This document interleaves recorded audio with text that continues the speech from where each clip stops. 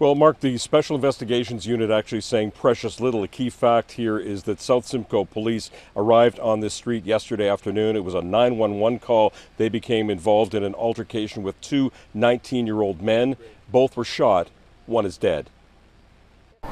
The intersection of two streets in Innisfil, about an hour north of Toronto. This is a very quiet neighborhood, obviously. Like you know, it's it's very you know, it's it's sweet, it's small, um, and basically I was working and I heard um, some shots. Ontario's Special Investigations Unit probing the scene of a shooting here involving police on Thursday afternoon. A 19 year old man was shot and killed. A second 19 year old was seriously injured and airlifted to a trauma center in Toronto.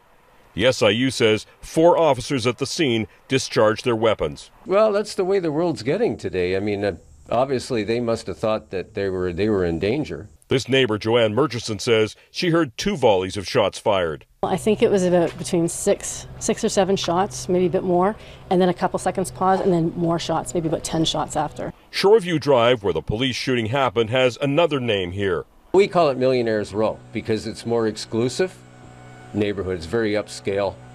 Like you don't, it's not a cookie cutter neighborhood. According to land records, the property where the shooting took place is co owned by William Hatton, a local developer. Obviously, it's really sad. Um, I just hope that the family's doing okay.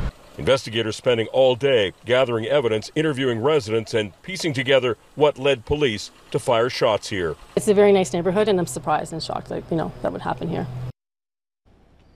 The SIU confirms that South Simcoe police were using body worn cameras. That'll be key in the investigation. Uh, as well, the OPP is conducting a parallel investigation. The Special Investigations Unit had promised an update this afternoon. Uh, none has been delivered as of this point, and no name, the name of the deceased 19 year old, has not been officially released. Mark, back to you. We'll be keeping an eye on those details for you. Thanks, Sean.